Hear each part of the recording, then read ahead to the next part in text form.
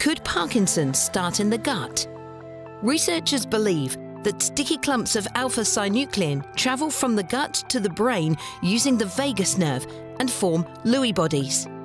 Lewy bodies are associated with Parkinson's and in some cases result in dementia. It's believed they could contribute to the death of dopamine producing brain cells, in turn leading to the motor symptoms of Parkinson's. Professor Maria Grazia Spillantini at the University of Cambridge was part of the team that first discovered that Lewy bodies are made up of a protein called alpha synuclein.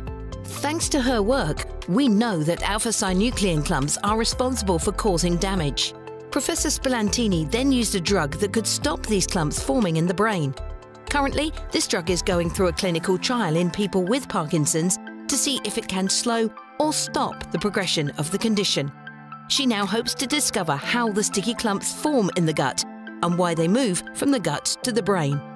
And understanding this could lead to a treatment that prevents this from happening before motor symptoms of Parkinson's appear. This is uh, the brain of a person with uh, Parkinson. And this black dot is the neurons of the substantia nigra. But if you look at this particular neuron here, you see that there is a very, very dark blob. And this is a Lewy body in the brain of a patient with Parkinson. The definition of Parkinson is based on the presence of Lewy body in the brain. Thanks to your donations, we've moved our knowledge forward. Now we need your help again. Can you give what you can to keep Professor Spillantini's research moving forward so that more people can live well for longer with Parkinson's? We can't do it without you.